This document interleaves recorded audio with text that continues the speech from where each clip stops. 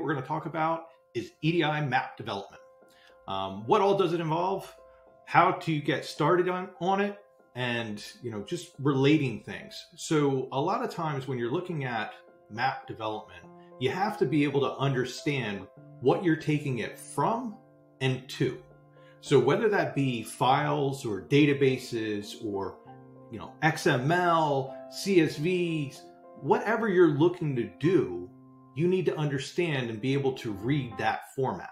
So if it's EDI ANSI X12, well, guess what? Start learning how to look at raw EDI and understand how that works and how the different segments or elements are. If it's JSON, understand where where's the JSON coming from or where's it going to. Have those points of reference for when you're doing mapping. You know, you have to be able to visualize where you're taking it from one thing and putting it into another. What's ultimately the goal? Uh, another thing that I find that helps a lot of people when they're learning how to do mapping is understanding different programming languages. How do you program? So a lot of times programming, guess what? You again, you're visualizing. You're visualizing what the ultimate goal is for what you're doing.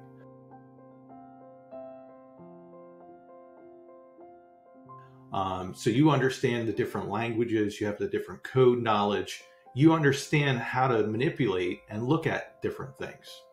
Um, along with that, hey, SQL, databases, interacting with databases, how to do a select, how to do an execute, how to do those different things interacting with the database.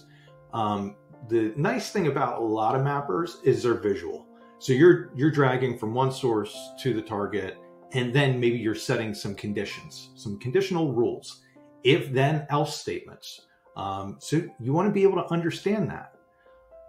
In the map development world, if you don't have that balance, it makes it harder.